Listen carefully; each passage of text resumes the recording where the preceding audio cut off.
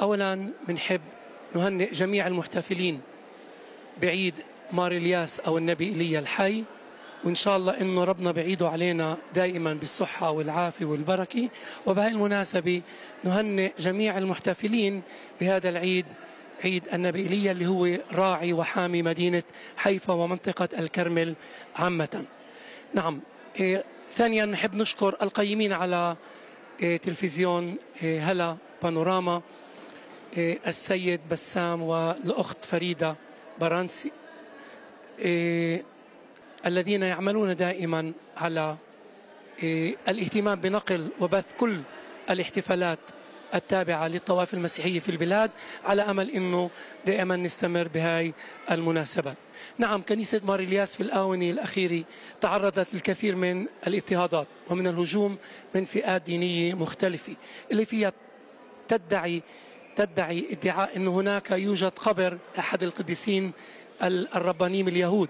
ولكن كما نحن نعلم دائما وأبدا إنه لا وجود لمثل هذا القبر في هذا المكان المقدس وإنما هذا مزار النبي ايليا منذ مئات مئات مئات السنين اللي فيه كل طوائف الجليل كل مسيحية الجليل يأتون يصلون يقدمون النذور ويعملون أولادهم باعتبار إن هذا مكان ومكان مكان مقدس. لذلك نحن بنرفع احتجاجاتنا نرفع كل طلباتنا إلى المسؤولين في البلاد.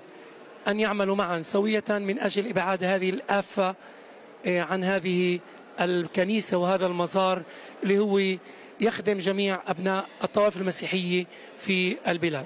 عليه كان عندنا حوار مع وزير الأديان السيد مالكور من من حكومة الدولي ومن حزب شاس أكد على أنه سوف يعمل مع الكثير من الربانيين أن نجتمع معا ونقوم بالحفاظ على هذا المكان المقدس وأن نحافظ على السير لكل المتقدمين لتقدمة البركات وتقدمة النذور وإن شاء الله ربنا يعيد على الجميع بالخير والسلام. نشكر الإخوان القيمين على تلفزيون هلا وبنت سيد بسام بسام وفريدة.